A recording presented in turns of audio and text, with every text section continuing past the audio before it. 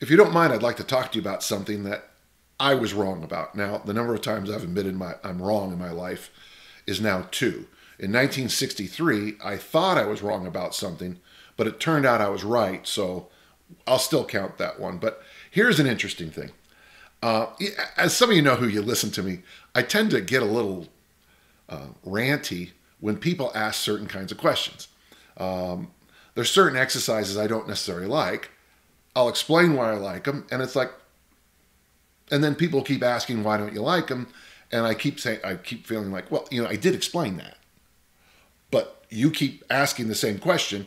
I'm not going to change my mind. You're not going to change my mind, but you're totally free to do anything you want. So let's put that here. The big issue is this people ask me about other people's programs, programs I have nothing to do with. I didn't write, I wasn't part of the evolution of it. Uh, I might know the person personally, uh, eat dinner at their house, uh, maybe even be, uh, you know, good friends with them. Um, but when you ask about these programs, and I guess the best examples would be uh, uh, Rip's Starting Strength, Simple and Sinister. I get those questions all the time. even some people ask me about Marty Gallagher's one workout a week program, by the way, which I think is marvelous. Um, but I didn't realize something, and uh, thankfully, uh, the gentle listeners have, have told me this. I've received a number of thank you uh, emails and little notes here and there for talking about these issues because, and I've got nothing against it, but there's a uh, there's a thing that that kind of gets me a little bit uh, where if you do go to the forums, you go to the sites and you ask a question, I'm struggling what I've been told is the response is always this just follow the program. Well, I can't because of the following reasons. Well, then just follow the program. Well, I'm stalled out. Well, just follow the program. And that is something I've never been comfortable with. Um, I'm a big believer as a coach, and I think you're crazy if you don't believe what I'm about to say, in the feedback loop. Every single program I have what you might miss is the loop. We went through this program three, four, ten, fifteen times and kept getting better and better because when we write the program, and universally I've done every program I've ever written for you or anybody else, I then give it to you or Paul or Brian or, or Lindsay or Kelly, and we start to do it.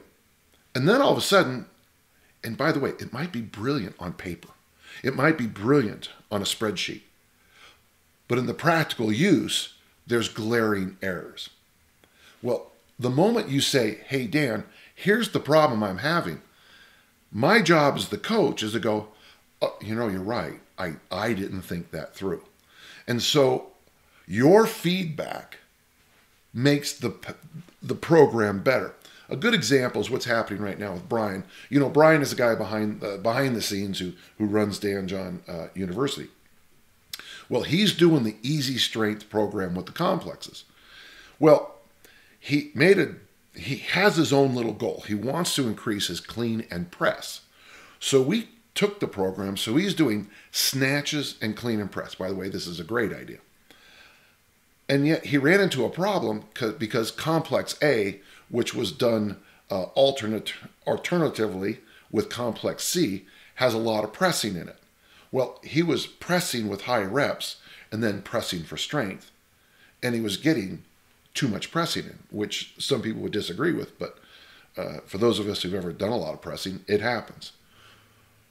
So, in about a 30 second conversation, Brian and I switched him to just doing complex C, which is snatch, overhead squat, back squat, good morning, row, snatch, grip, deadlift, sets of eight, five or three, back to back to back to back, and boom, wouldn't you know it, within a few days, he gets his lifetime best clean and press. Yay for us, yay for us. We are so great.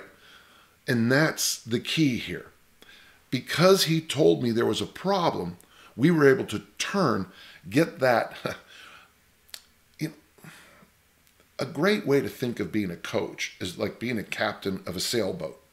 Um, we know we're going in this direction, but the wind is blowing funny, so I have to tack back and forth until we get to the port that we want to be at. Sometimes when you put together a program, you spend your, yourself as a ship's captain spinning that wheel and adjusting those sails a lot more than you would think. It's uh, coaching is not like being a power boat where you just go and just point the bow and just go. So feedback is so important.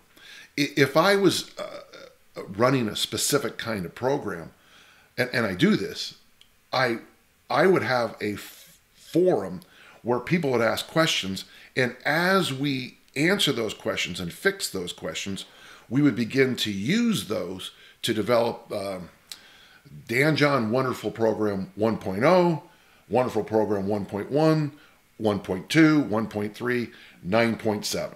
Okay?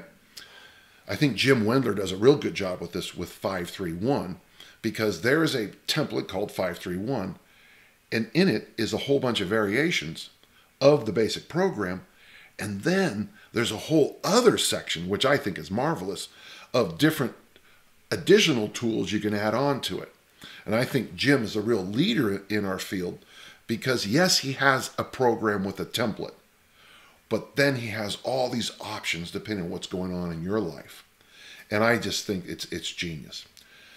So if I am part of your feedback loop, I have to catch myself and remind myself, and, and honestly, it's an honor to be part of the feedback loop.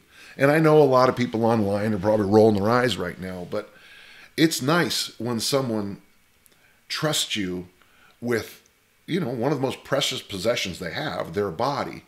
And they're trying to improve their body, they're trying to improve their systems, and they ask for help. I've got to be kinder and to assist. So even though I don't feel like I'm an expert on everybody else's programs, I think I'm good with helping you with the issues that come up. And folks, let me tell you, if you live like a hermit and you have a trust fund and uh, you have great training partners and somebody else cooks your food and you sleep 12 hours a night, you know, you could probably do just about any program you decide to do. But for the rest of us, uh, as I'm speaking, you know, uh, I'm getting questions. Uh, I travel a lot, so people ask me about this thing called the coronavirus. Well, I didn't even consider the coronavirus. And yet now I have to start thinking about my travel plans with the coronavirus. Well, that's great. Well, it snowed the other day. Well, that changed my workout because you can't do the workout I want to do because it snowed. What I'm saying, folks, is I have a real life. I've had I've had people throw up on me, uh, my daughters. I had the other day my dog throw up on the floor as I was going out to the gym. Well, if your dog vomits on the floor, today's workout's going to be slightly different than what you planned. For one thing, you'll probably stay fasting just a little longer than you thought because you have no interest in food after your dog vomits all over the carpet. The carpet. He missed the hardwood floor, which is easy to clean. Thank you, Sirius Black. So I'm going to do my best to be much more helpful when it comes to this kind of thing. And for those of you who do coach, those who do train, the best gift you have is that feedback loop with your client. When you ask them, what did you think of this? And if they say, you know, the first blank was good and then X happened, take a note of it, either physically take a note of it or mentally take a note of it, and constantly make things a little better. That's what we're striving for, folks. It's like in the Brothers Karamazov, you know, the famous thing with the Father Zosima. You know, what we're trying to do here is bit by bit get a little better. You know, in, in throwing, John Powell had that great line Yard by yard, it's hard, but inch by inch, it's a cinch.